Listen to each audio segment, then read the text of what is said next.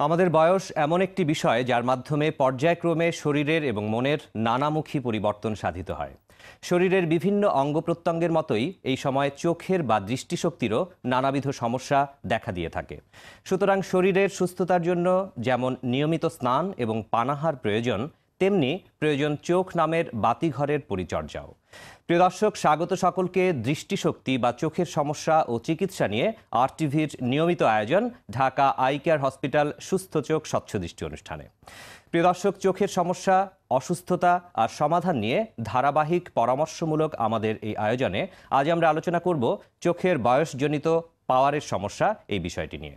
এ নিয়ে পরামর্শক এবং আলোচক হয়ে আমাদের সঙ্গে আছেন দৃষ্টি চিকিৎসা বা চোখের চিকিৎসায় দীর্ঘদিনের যুগান্তকারী চিকিৎসক এবং দৃষ্টি সমস্যা আক্রান্ত মানুষের অনন্য বন্ধুজন, সেবাজন, ঢাকা আই কেয়ার হসপিটালের সিনিয়র কনসালটেন্ট, ল্যাসিক, ফ্যাকো ও গ্লোকোমা বিশেষজ্ঞ, doctor Harunur Rashid sir. Sir আপনাকে স্বাগত আমাদের আজকের অনুষ্ঠান। ধন্যবাদ। কেমন আছেন স্যার? ভালো আছে। আপনি কেমন আছেন? জি ভালো আছি। স্যার আজকে আমরা গুরুত্বপূর্ণ একটি বিষয় নিয়ে কথা বলতে চাইছি আপনার সাথে বয়স এবং আমাদের চোখ। বয়স তো আমাদের বেড়েই চলবে একে ধরে রাখবার কোনো উপায় নেই। কিন্তু আপনার কাছে যেটি জানতে চাইব যে বয়স বারবার সঙ্গে সঙ্গে আমাদের চোখের কি কি ধরনের সমস্যা দেখা দিতে পারে সেটি আমাদের দর্শকদেরকে একটু বলবেন। দেখুন সময়ের সাথে সাথে আমাদের শরীর বদলায় আমাদের মন বদলায়। চোখ তার ব্যতিক্রম কোনো কিছু নয়। আপনি শুনে অবাক হবেন চোখই প্রথম পঞ্চেন্দ্রিয় যেটি বয়স দ্বারা আক্রান্ত হয়। কিছু কিছু রয়েছে স্বাভাবিক পরিবর্তন এবং কিছু কিছু রয়েছে বয়সজনিত চোখের অসুখ। স্বাভাবিক পরিবর্তনগুলোর মধ্যে রয়েছে একটি চালসে বা প্রেস বায়োপিয়া এরপরে রয়েছে চোখের ছানি বা চোখের শুষ্কতা। আর অসুখগুলোর মধ্যে রয়েছে বার্ধক্যজনিত রেটিনার কেন্দ্রের ক্ষয়। আরেকটি রয়েছে চোখের চাপজনিত গ্লকোমা রোগ আর ডায়াবেটিসজনিত চোখের রেটিনার রক্তক্ষরণ। স্যার বয়সজনিত কারণে বিভিন্ন সমস্যা হতে পারে চোখের সেগুলি আপনি বলেছেন। তার মধ্যে আপনি গুরুত্ব দিয়ে বলেছেন যে চালসে বা প্রেস বায়োপিয়া যেটিকে আপনারা বলে থাকেন এই প্রেস বায়োপিয়া বা চালসে সম্পর্কে আমাদেরকে একটু বিস্তারিত বলবেন। একটা মডেল দিয়ে বুঝিয়ে দিই। নিশ্চয়ই। আমাদের চোখের ভেতরে স্বচ্ছ প্রাকৃতিক একটি লেন্স রয়েছে। এই লেন্সটি স্বাভাবিকভাবে স্থিতিস্থাপক বা ইলাস্টিক। ফলে আমরা যে কোনো বস্তুকে দূরে মাঝে এবং কাছে ভালোভাবে দেখতে পাই। বয়স বাড়ার সাথে সাথে এই লেন্সটি তার স্থিতিস্থাপকতা হারাতে থাকে। ফলে আমাদের কাছে দেখতে সমস্যা হয়। আজকাল প্রায়শই রোগীরা এসে আমাকে এসে বলেন যে, ডাক্তার সাহেব, আগে আমার মোবাইল ফোনের যে ডিজিটগুলো সব দেখতে পেতাম, মেসেজগুলো দেখতে পেতাম, এখন আমার দেখতে সমস্যা হচ্ছে। গ্রামের মায়েরা চমৎকারভাবে এসে বলেন যে, আজকাল বাবা শুয়ে সুতা ঢোকাতে অসুবিধা হচ্ছে মাছের কাটা দেখতে অসুবিধা হয় চাল বাঁচতে অসুবিধা হয় কোরআন শরীফের হরফ দেখতে অসুবিধা হয়। অনেকেই এসে বলেন যে খবরের কাগজের হেডলাইনগুলো পড়তে পারছি কিন্তু ভেতরের ছোট লেখাগুলো দেখতে সমস্যা হচ্ছে। অনেক সময় কেউ কেউ আছেন যারা লেখাটাকে বেশ দূরে ধরে দেখতে পাচ্ছেন কিন্তু কাছে নিলে আর দেখতে পারছেন চলুন একটা ছবি দিয়ে আমরা দর্শকদেরকে বুঝিয়ে দিই। লক্ষ্য করুন এই ছবিতে ভদ্রলোক কত কষ্ট করে লেখাটাকে দূরে ধরে দেখবার চেষ্টা করছেন। কিন্তু নিচের ছবিতে লক্ষ্য করুন কত স্বাচ্ছন্দ্যে রিডিং গ্লাস দিয়ে ভদ্রমহিলা পড়ছেন। অর্থাৎ একটা রিডিং ক্লাস দিলেই কিন্তু এর সমাধান সম্ভব। স্যার আপনি কতগুলো উদাহরণ দিচ্ছিলেন? কোন কোন সময় মানুষের চোখের সমস্যা হতে পারে? এরকম কিছু উদাহরণ। আমরা অনেক সময় দেখি যে এরকম কিছু সমস্যার ক্ষেত্রে অনেক মানুষ একটি দোকানে যান চশমার দোকানে পছন্দ করে একটি চশমা নিয়ে নেন এবং চিকিৎসকের পরামর্শ ছাড়াই তিনি সেটা হয়তো ব্যবহার করতে থাকেন। এটা আসলে কতটুকু যৌক্তিক? না এটা যৌক্তিক না এ কারণেই বাজারে যে রিডিং গ্লাস যেগুলো রয়েছে সেটা কিন্তু দুই চোখের পাওয়ার কিন্তু সমান। আমাদের মধ্যে অনেকেই রয়েছে যাদের দু চোখের পাওয়ার কিন্তু আলাদা। আরেকটি জিনিস হচ্ছে যে আমাদের অনেকেরই কিন্তু দূরের পাওয়ারও রয়েছে। বিশেষ করে দূরের পাওয়ারে যদি সিলিন্ডার পাওয়ার থাকে যার একটা অ্যাঙ্গেল বা অ্যাক্সিস থাকে আপনি জানেন। সেই পাওয়ারটা যদি কাছের পাওয়ারে না থাকে তাহলে কিন্তু পড়তে বেশ কষ্ট হয় এবং সেখান থেকে চোখ ব্যথা মাথা ব্যথা হতে পারে। আরেকটি বিষয় হলো যে চল্লিশ বছর এমন একটা সময় যখন আমাদের আস্তে আস্তে চোখে ছানি পড়া শুরু হতে পারে চোখে চাপ থেকে গ্লোকোমা রোগ হতে পারে ডায়াবেটিস জনিত জটিলতা হতে পারে একজন বিশেষজ্ঞের কাছে যখন একজন স্বাভাবিক প্রক্রিয়ায় চশমা নিতে একজন মানুষ আসেন বিশেষজ্ঞ কিন্তু ওগুলো সব ভালো করে দেখেন ফলে যে কোনো রোগ নির্ণয় প্রাথমিক পর্যায়ে সম্ভব হয়। সুতরাং আমি মনে করি বাজার থেকে চশমা কেনাটা খুব একটা যৌক্তিক নয় ফলে প্রাথমিক পর্যায়ে রোগগুলো কিন্তু ধরা পড়ে না। স্যার আপনি খুব গুরুত্বপূর্ণ একটি কথা বলেছেন যে চল্লিশ বছর খুব মোক্ষম একটি সময় যখন মানুষের চোখের বিভিন্ন সমস্যা হতে পারে এবং এই বয়সে অবশ্যই একজন চিকিৎসকের কাছে বা চক্ষু বিশেষজ্ঞের পরামর্শ মানুষের নেওয়া উচিত। স্যার চল্লিশ বছরের পরে চোখের ছানির সমস্যা দেখা দিতে পারে এরকমও আপনি বলছিলেন। তো ছানির সমস্যাটির বিষয়ে আমাদেরকে কিছু বলবেন। শেডিও মডেল দিয়ে বুঝিয়ে দিই। একটু আগে যে বলছিলাম যে লেন্সটি স্থিতিস্থাপকতা হারাতে থাকে সেই লেন্সটি কিন্তু ধীরে ধীরে ঘোলাও হতে থাকে এবং সেটাই হলো চোখের ছানি। আমি ছবি দিয়ে বুঝিয়ে দিই। লক্ষ্য করুন চোখের লেন্সটি ঘোলা হয়ে গেছে। এটি হচ্ছে ক্যাটারাক্ট বা চোখের ছানি। পরবর্তী ছবিতে আমরা দেখব দেখুন বয়স বাড়ার সাথে সাথে আমাদের চুল যেমন পাকে ত্বক যেমন কুচকিয়ে যায় চোখের ভেতরে স্বচ্ছ প্রাকৃতিক লেন্সটা ধীরে ধীরে ঘোলা হতে থাকে। যেমন ধরুন বাম চোখের ছবিতে লেন্সটি ধীরে ধীরে ঘোলা হচ্ছে। এটি হচ্ছে অপরিপক্ক ছানি। কিন্তু ডান দিকের ছবিতে লক্ষ্য করুন, লেন্সটি পুরোপুরি ঘোলা হয়ে গেছে, এটাকে বলে পরিপক্ক ছানি। এর পরের ছবিতে আমরা দেখব, এই ঘোলা ছানির চিকিৎসা হচ্ছে চোখের ভেতরের এই ঘোলা লেন্সটাকে বের করে নিয়ে এসে চোখের ভেতরে একটি কৃত্রিম লেন্স বসানো। প্রচলিত যে পদ্ধতি, তার নাম স্মল ইনসিশন ক্যাটারাক্ট সার্জারি সাত থেকে দশ মিলিমিটার জায়গা কাটতে লাগে ইঞ্জেকশন লাগে ব্যান্ডেজ লাগে। এর পরের ছবিতে আমরা দেখব যে তার অত্যাধুনিক যে পদ্ধতি, তার নাম হলো ফ্যাকোইমালসিফিকেশন বা ফ্যাকো সার্জারি। ছবিতে লক্ষ্য করুন, বাম দিকের ছবিতে সর্বাধুনিক ফ্যাকো প্রযুক্তি, white star signature Ellips phaco প্রযুক্তি এবং ডান দিকে লক্ষ্য করুন, Centurion vision with Ozil technology. লক্ষ্য করুন, ছবিতে ছানিযুক্ত চোখ উপরের ছবিতে, কিন্তু নিচের ছবিতে লক্ষ্য করুন, সেই ছানিটাকে অপসারণ করে চোখের ভেতরে স্বচ্ছ একটি কৃত্রিম লেন্স বসানো হয়েছে এবং যার ভেতর দিয়ে রেটিনার রক্তিম আভাটি দেখা যাচ্ছে। স্যার আপনার কাছে আমরা চমৎকারভাবে শুনলাম চোখের ছানি সম্পর্কে একটা প্রাথমিক ধারণা পেলাম। আপনি দীর্ঘদিন ধরে ছানির চিকিৎসা করছেন ফ্যাকো সার্জারি অপারেশন করছেন। আপনি আমাদের দেশের অন্যতম একজন প্রসিদ্ধ ফ্যাকো সার্জন। আপনার কাছে যে বিষয়টি আমরা জানতে চাইব যে ফ্যাকো সার্জারিতে আপনারা কি কি ধরনের লেন্স ইদানিং ব্যবহার করছেন? সেটাও ছবি দিয়ে আমি বুঝিয়ে দিই। এটি হচ্ছে ইন্ট্রাকুলার লেন্স। এর যে মাঝখানের যে বৃত্তাকার যে জায়গাটা সেটার নাম হচ্ছে অপটিক। এখানেই পাওয়ারটা থাকে এটা দিয়ে আমরা দেখতে পাই। আর সাইডের যে জায়গাটা হ্যাপটিক, লেন্সটিকে তার অবস্থানে ধরে রাখে। চলুন একটা ভিডিও দিয়ে দর্শকদেরকে আমরা বুঝিয়ে দেই। লক্ষ্য করুন হোয়াইট আইস সিগনেচার এলিপস এবং সেঞ্চুরিয়ান ভিশন সিস্টেমের মাধ্যমে ছানিটাকে মেশিনে টুকরো টুকরো করে ভেঙে গলিয়ে বের করে আনা হচ্ছে আল্ট্রাসনিক কম্পনের মাধ্যমে মাত্র দুই দশমিক দুই মিলিমিটার ছোট্ট একটা ছিদ্র দিয়ে। এখানে উচ্চমাত্রার ভ্যাকিউম এবং বেশ নিম্নমাত্রার ফেকো এনার্জি ব্যবহার করা হচ্ছে। লক্ষ্য করুন, চমৎকারভাবে ছানিটাকে বের করে আনা হচ্ছে আর এর পরপরই লেন্স বসানোর পালা। এটি হচ্ছে একটা মাল্টিফোকাল নরম লেন্স। লক্ষ্য করুন মাল্টিফোকাল লেন্সের রিংগুলো। এই লেন্সটিকে আমরা একটি স্বচ্ছ কার্টিজের মধ্যে প্রবেশ করিয়ে দিচ্ছি এবং সেই কার্টিজের মধ্যেই লেন্সটি স্বয়ংক্রিয়ভাবেই ভাঁজ হয়ে যাচ্ছে এবং এর পরপরই লেন্সটিকে আমরা চোখের ভেতরে বসিয়ে দেব। লক্ষ্য করুন, লেন্সটিকে চোখের ভেতরে ধীরে ধীরে প্রবেশ করানো হচ্ছে। ধীরে ধীরে লেন্সটি তার ভাঁজ খুলে যাচ্ছে এবং চোখের ঠিক মাঝখানে লেন্সটি বসে যাচ্ছে। চোখের ভেতরের যে জেল মেটেরিয়াল সেটা বের করে আনা হচ্ছে। অসম্ভব রোগী বান্ধব এই পদ্ধতি। দশ মিনিট সময় লাগে, কোনো রক্তপাত হয় না ইঞ্জেকশন লাগে না, ব্যান্ডেজ লাগে না। অসম্ভব রোগী বান্ধব এই পদ্ধতি অর্থাৎ ফ্যাকো সার্জারির চমৎকার ভিডিওটি আমরা দেখলাম। আপনারা ঢাকা আই কেয়ার হসপিটালে এরকম অপারেশন নিয়মিতই করছেন। আপনি একটু বলবেন যে ঢাকা আই কেয়ার হসপিটালে আপনারা কি কি ধরনের লেন্স ব্যবহার করছেন? আমি ছবি দিয়ে বুঝিয়ে দিই।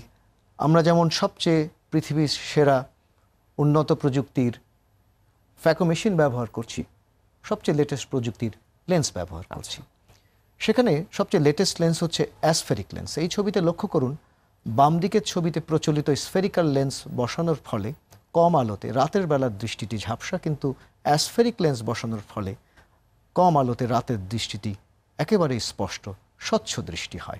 এর পরের ছবিতে আমরা দেখব আমরা অনেকেই চশমাতে সিলিন্ডার পাওয়ার ব্যবহার করি। বাম দিকে ছবিতে লক্ষ্য করুন তাদের ক্ষেত্রে আমরা যদি টরিক লেন্স বসিয়ে দিই চোখে তাহলে তার অপারেশনের পরে চশমাতে সেই সিলিন্ডার পাওয়ারটা লাগবে না। আচ্ছা। আর মাঝখানের ছবিতে লক্ষ্য করছেন মাল্টিফোকাল লেন্স আমরা অনেকেই যারা কাছে চশমা ছাড়া পড়তে চাই, তারা যদি মাল্টিফোকাল লেন্স ব্যবহার করেন, তাহলে তার সেই চশমাটির আর প্রয়োজন হবে না। সবচেয়ে ডান দিকে লক্ষ্য করুন টরিক মাল্টিফোকাল লেন্স আমাদের অনেকেই আছেন যাদের চশমাতে সিলিন্ডার পাওয়ার রয়েছে, আবার যারা খালি চোখে অপারেশনের পরে পড়তে চান, তাদের জন্য টরিক মাল্টিফোকাল লেন্সটি হচ্ছে আদর্শ লেন্স জি। স্যার আমরা দেখলাম যে আধুনিকতম লেন্সের ব্যবহারেই আপনারা অপারেশন করছেন। যারা আসলে দীর্ঘদিন ধরে ছানির সমস্যায় ভুগছেন আমরা কিন্তু অনেক সময় দেখি যে অনেকে ছানি অপারেশন করাতে চাচ্ছেন না বা মনে করছেন যে ছানি আরও একটু পাকলে বা ম্যাচিউর হলে তারপর অপারেশন করতে হবে। আসলে অপারেশনের মোক্ষম সময় কোনটি?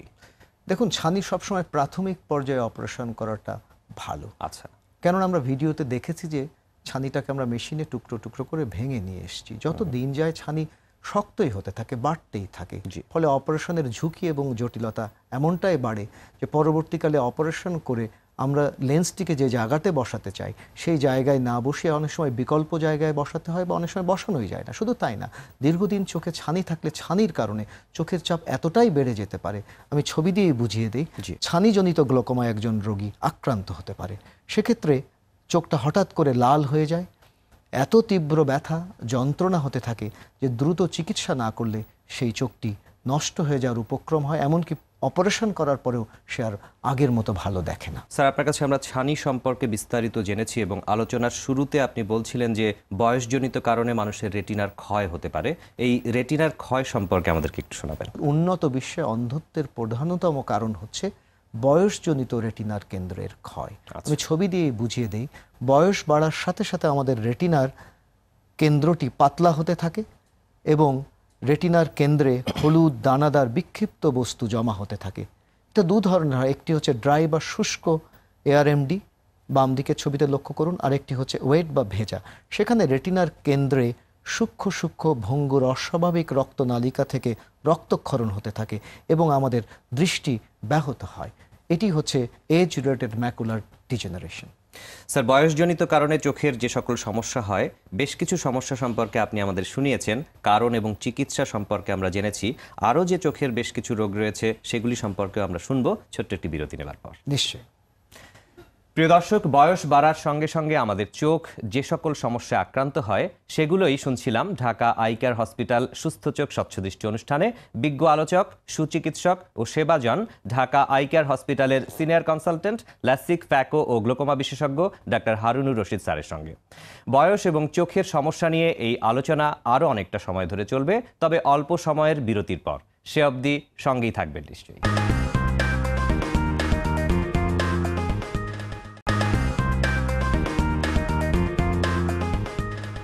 প্রিয় দর্শক বিরতি শেষে আবারও ফিরে এলাম ঢাকা আই কেয়ার হসপিটাল সুস্থ চোখ স্বচ্ছ দৃষ্টি অনুষ্ঠানে। স্যার বিরতির পূর্বে আপনি এক সময় আলোচনার এক পর্যায়ে বলেছিলেন যে চোখের ম্যাকুলার ক্ষয় হয়ে থাকে বয়সজনিত কারণে। এই ম্যাকুলার ক্ষয় হলে লক্ষণ কীভাবে প্রকাশ পায় একটু বলবেন? ডক্টর বায়াজিদ প্রাথমিক পর্যায়ে কোনো উপসর্গই থাকে না। ধীরে ধীরে আমাদের কেন্দ্রের দৃষ্টি আক্রান্ত হতে থাকে। একটা ছবি দিয়ে আমরা বুঝিয়ে দিই।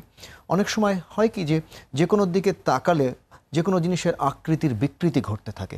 ছবিতে লক্ষ্য করুন বাম দিকের ছবিটি পরিষ্কার কিন্তু ডান দিকের ছবিতে লক্ষ্য করুন আমাদের দৃষ্টি পরিসীমার কেন্দ্রের দৃষ্টি আক্রান্ত হয়েছে। অনেক সময় দেখা যায় এই কেন্দ্রের দৃষ্টিটা ফাঁকাও মনে হতে পারে। অনেক সময় দেখা যায় যে কোনো জিনিসের দিকে তাকালে তার আকৃতির যেমন বিকৃতি ঘটে অনেক সময় একটা সরল রেখাকেও আঁকা বাঁকা দেখা যায়। এর পরের ছবিতে আমরা দেখব রোগীদেরকে আমরা একটা অ্যামসলার চার্ট দিই। সেটি বর্গাকৃতির ছোট ছোট ঘর রয়েছে। ছবিতে লক্ষ্য করুন, বাম দিকের ছবিতে স্বাভাবিক অ্যামসলার চার্ট। কিন্তু ডান দিকের ছবিতে লক্ষ্য করুন, এই অ্যামসলার চার্টের যে বর্গাকৃতির যে ঘরগুলো, এঁকে বেঁকে গেছে এবং সেই অ্যামসলার চার্টের মাঝখানে একটা কালো ছায়া লক্ষ্য করা যাচ্ছে। বার্ধক্যজনিত ম্যাকুলার কেন্দ্রের ক্ষয় রোগের কারণে। স্যার বয়সজনিত কারণে ম্যাকুলার ক্ষয় রোগ সম্পর্কে আপনার কাছে আমরা জানলাম। আপনি কিছুক্ষণ আগে আবারও বলছিলেন বয়সজনিত কারণে চোখের চাপের সাথে সম্পর্কিত যে গ্লোকোমা রোগ এই গ্লোকোমা রোগ সম্পর্কে আমাদেরকে একটু ধারণা দেবেন।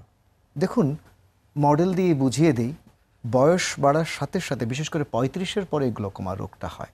দেখুন আমাদের চোখের ভেতরে অ্যাকোয়াসিউমার নামক এক ধরনের জলীয় পদার্থ রয়েছে।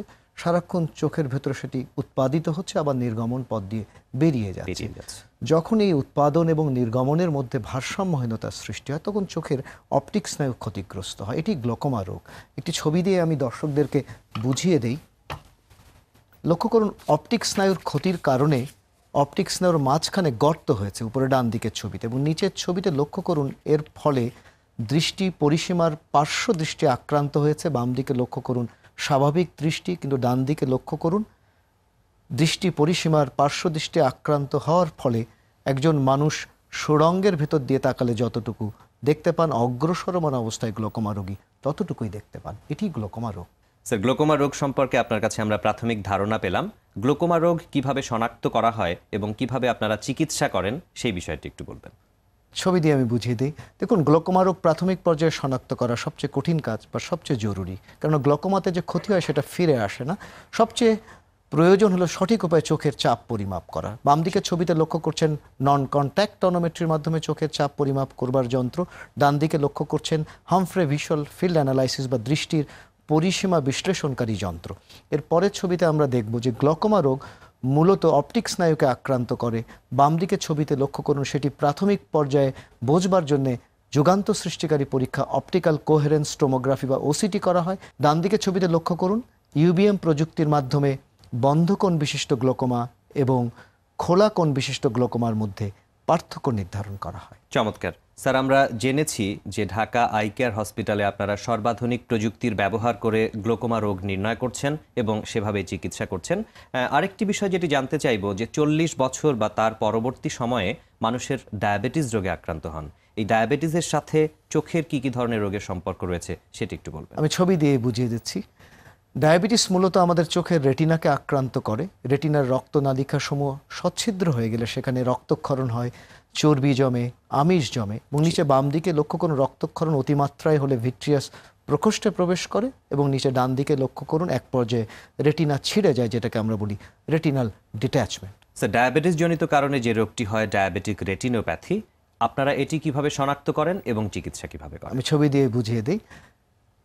প্রথমে আমরা তারারন্ধ্র বড় করে রেটিনা দেখি এবং রেটিনার একটা ছবি তুলে রাখি। বাম দিকের ছবিতে দেখছেন। কিন্তু ডান দিকের ছবিতে লক্ষ্য করছেন যে চোখের রেটিনার একটা আমরা অ্যানজিওগ্রাম করেছি এবং নিচে বাম দিকের ছবিতে লক্ষ্য করুন, সেখানে রেটিনার একটা ওসিটি আমরা করেছি এবং নিচে ডান দিকে লক্ষ্য করুন, আল্ট্রাসাউন্ড বি স্ক্যানের মাধ্যমে রেটিনাল ডিট্যাচমেন্ট শনাক্ত করা হয়েছে। এর পরের ছবিতে আমরা দেখব, রেটিনাতে রক্তক্ষরণ হলে আমরা প্রাথমিক পর্যায়ে রেটিনার কেন্দ্র আক্রান্ত হলে এনটি ভিএজিএফ ইনজেকশন চোখের ভিতরে দিয়ে দিই, বাম দিকের ছবিতে এবং ডান দিকের ছবিতে লক্ষ্য করছেন যে প্রয়োজনে রক্তক্ষরণ বন্ধে আমরা চোখের রেটিনাতে লেজার রশ্মি প্রয়োগ করছি। এর পরের ছবিতে আমরা দেখব, রক্তক্ষরণ যখন অতিমাত্রায় হয় এবং রেটিনা ছিঁড়ে যায়, তখন ভিট্রেক্টমির মাধ্যমে আমরা রেটিনার সেই ছেঁড়া রেটিনাকে আমরা জোড়া লাগিয়ে দিতে পারি। স্যার, আপনার কাছে আমরা বয়সজনিত কারণে চোখের বিভিন্ন সমস্যার কথা বললাম। এই ধরনের সমস্যা প্রতিরোধের ক্ষেত্রে আমরা দৈনন্দিন জীবনে যে খাদ্য গ্রহণ করি সেই খাদ্যের কোনো ভূমিকা আছে কিনা একটু যদি বলেন। ভীষণ ভূমিকা আছে। আমি ছবি দিয়েই বুঝিয়ে দিই। জি। আমাদের সকলেরই আঁশযুক্ত সবুজ শাকসবজি খাওয়া উচিত। কেননা সেখানে লুটিন থাকে এবং জিগজ্যান্থিন থাকে যা আমাদের ছানি প্রতিরোধ করে বার্ধক্যজনিত ম্যাকুলার ক্ষয় প্রতিরোধ করে। এর পরের ছবিতে আমরা দেখব আমাদের সকলেরই ভিটামিন এ সমৃদ্ধ খাদ্য গ্রহণ করা উচিত, যেমন গাজর, মিষ্টি আলু, মিষ্টি কুমড়া এবং অ্যাপ্রিকট। এর পরের ছবিতে আমরা দেখব আমাদের সকলেরই আম, কলা, পেঁপে ইত্যাদি হলুদ ফলমূল খাওয়া উচিত।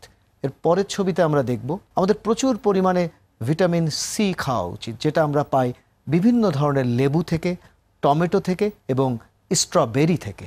এর পরের ছবিতে আমরা দেখব ওমেগা থ্রি ফ্যাটি অ্যাসিড সেই ওমেগা থ্রি ফ্যাটি অ্যাসিড পাই আমরা সামুদ্রিক মাছ থেকে যেমন স্যামন মাছ এবং আমাদের বাংলাদেশের প্রিয় পদ্মার ইলিশ তো রয়েছেই জি।